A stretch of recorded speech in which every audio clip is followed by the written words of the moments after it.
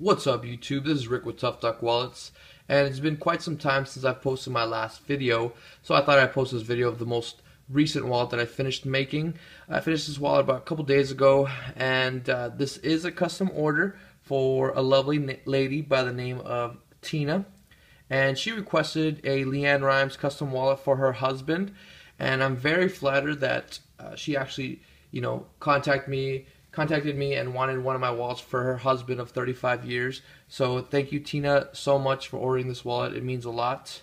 And for those of you guys that are interested in a custom wallet, feel free to send me a message and we can work out some details um, if you are interested in a custom wallet. So without further ado, I'm just going to jump into the wallet. She did request a LeAnn Rimes wallet, portrait in the front.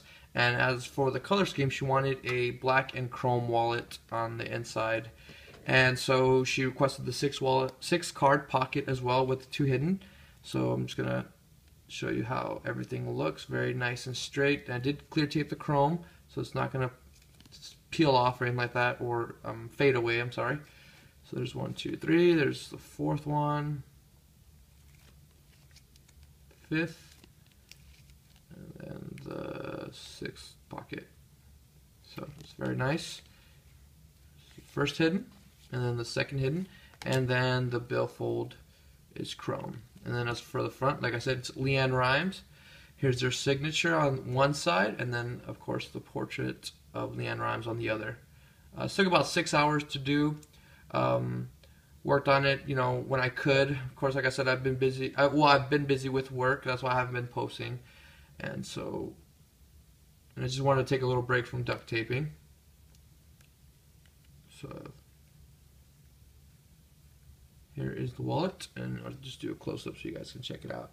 I'm still pressing it, trying to get all the air bubbles out before I ship it out to her. Oh, let's see. There we go. I think the hair was the most challenging just because I didn't have enough, you know, shades of yellow or blonde, I guess, or to imitate blonde, a blonde color. There's a face.